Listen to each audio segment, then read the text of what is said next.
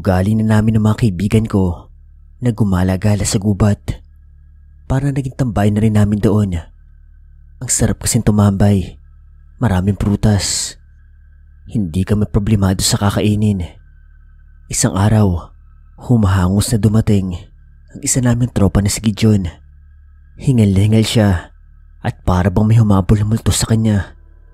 Mga tol, sabi ni Gideon sa amin. Nakatambay kami noon sa harap ng tindahan ni Aling Marites. Oh, bakit? Anyari? Tanong ni Levi. Sabay sip-sip sa iniinom na soft drinks. Lumapit pa sa amin si Gideon. Tapos si bumulong. Gagi, may nalaman ako sa gubat pa eh. Sabi niya. Nagkatinginan kami ni Levi. Napaisip na lang ako kung ano naman pang pinaggagawa niya. Kasi nung huling sinabi niya na meron siyang nalaman sa talipapa, napahamak lang kami. Isinama niya kami noon sa isang tindahan na karne. Sabihin ba naman, yung tinda ng ale, ikarne ng tao. Kaya ayun, pinabarangay kami. Tumigil ka nga sa kakaganyan mo, Gideon. Kain ka na naman eh. Naiinis sa sabi ni Levi. Naku, naadala na ako sa'yo. Baka mapahamak na naman kami dyan eh. Sabi ko naman, Gagi, promise, totoo na to. Kagabi kasi, naghanap ako ng gagamba sa magubat.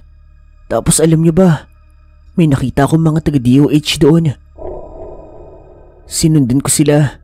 Tapos, may nakita kong parang sikretong ospital. Hindi naman siya sobrang laki. Basta ospital.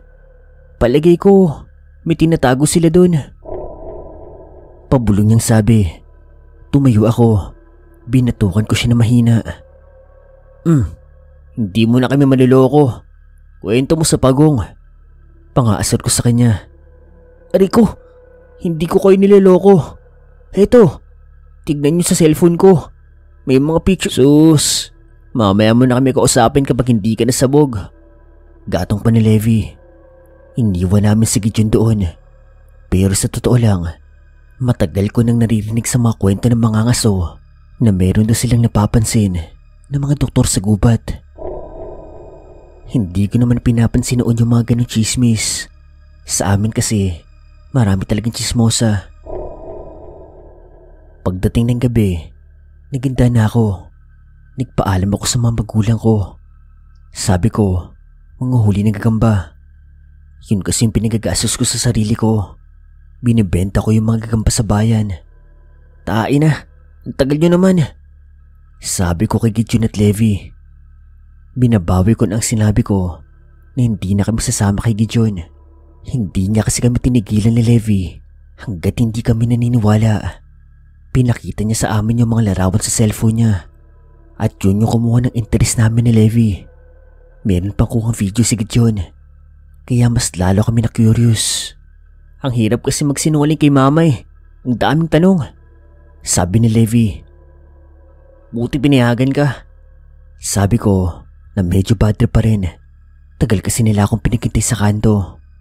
Hindi siya pinayagan. Tumakas talaga siya. Sabay silang natawa ni Levi. Yari na naman kami kay Aling Joy.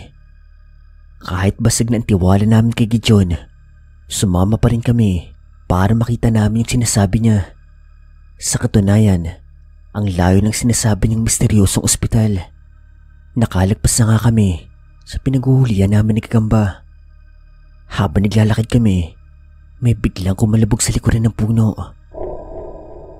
Napahinto at napatingin kami. Pero dahil sanay na kami sa gubat, kahit madilim, wala lang sa amin yun. Ilang beses na kasi kami naka-encounter ng ganon. Pagtitingnan namin, bayawak lang pala. Nagpatuloy kami sa paglalakad. Tamang kwentuhan lang kung gaano ka sexy at kaganda yung anak ni Aling Marites. Makalipas na nga halos isang oras, meron na nga kaming natanaw na puting gusali. Maliwanag siya. Klaro namin nakikita mula sa kinatatayuan namin.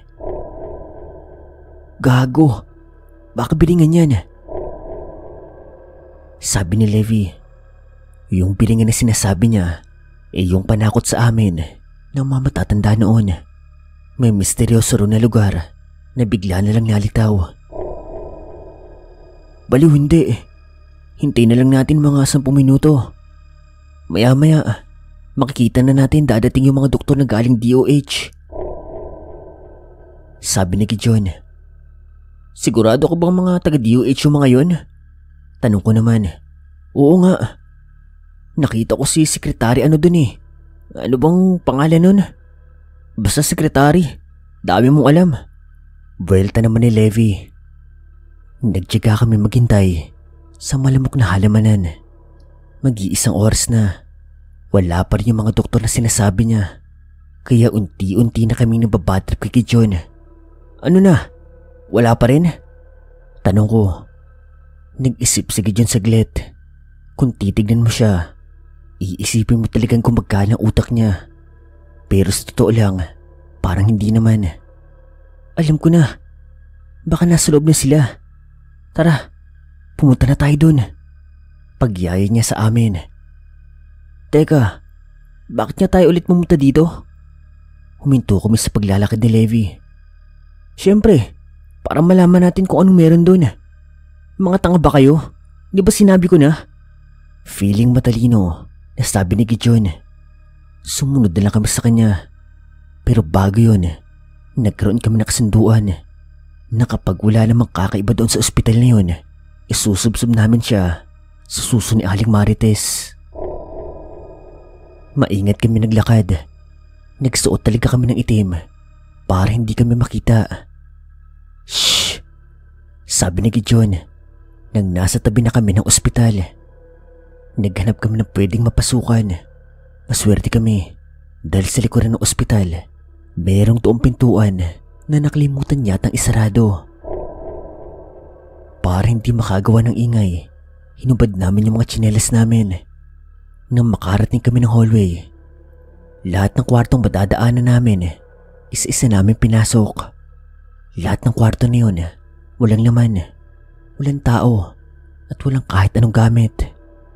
Palagay ko talaga, under construction pa rin yun. Napatago kami tato sa isang kwarto. Nang dumaan sila, sa harapan ng kinaroroonan namin. Nadinig namin sila. Handa na ba ang operasyon? Opo sir. May mga dala na rin po kaming bagong subject. Kamusta ang subject number one? We have no problem about subject number one sir. Successful po sir.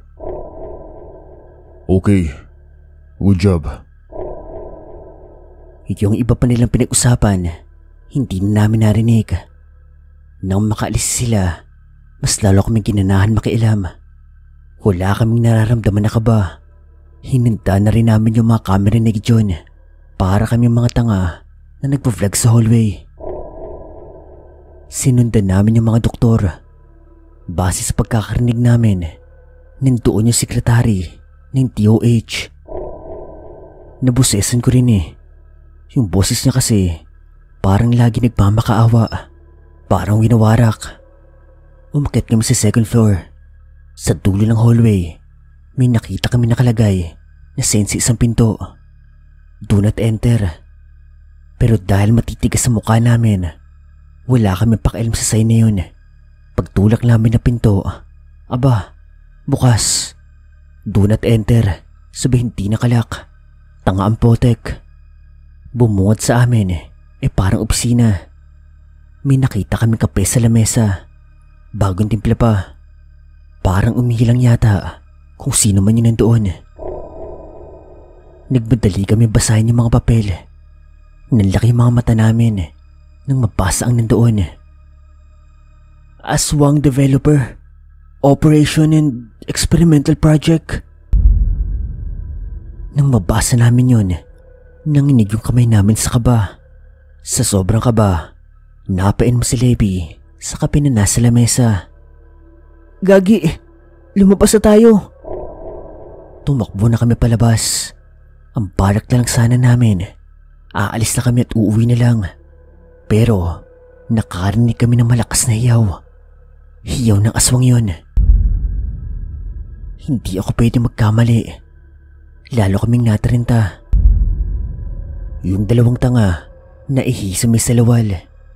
Napatago na naman kami nang may mga dumaan.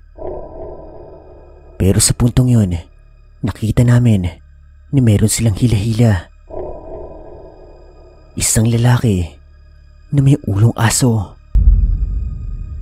Mahaba ang kuko, dila at tenga. Binatukan ko si Levi na makita kong sisigaw na siya. Paglabas sa mga dumaan, hindi na kami nagdalawang isip na umalis. Kaso, hindi naging ganun kadali ang pag-alis namin. Dahil sa halip na makalabas kami, nakarating pa kami ng third floor. Ang floor kung saan nagkaganap ang experiment ng DOH. Pumasok kami sa malawak na kwarto.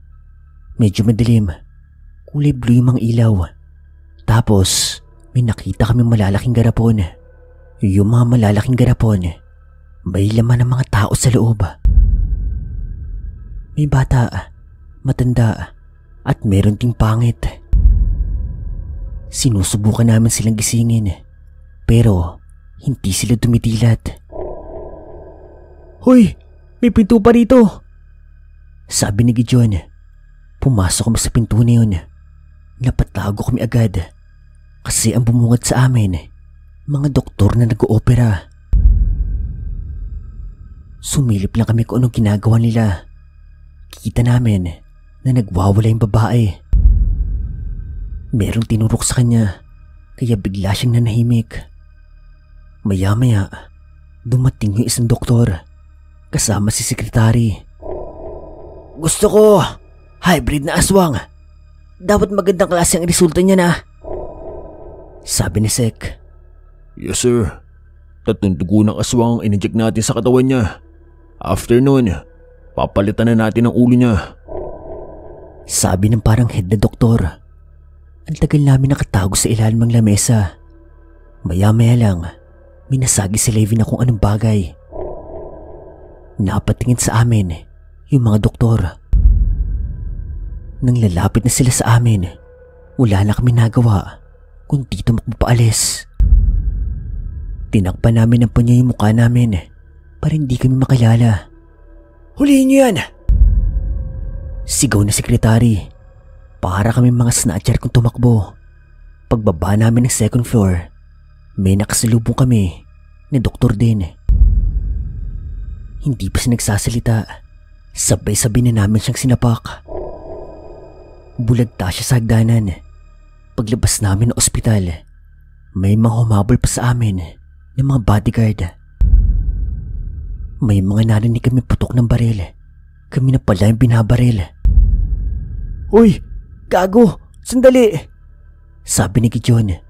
Nang lumubog yung paa niya sa lupa, nakaapak kasi ng putek. Parang tanga naman to. Bilis!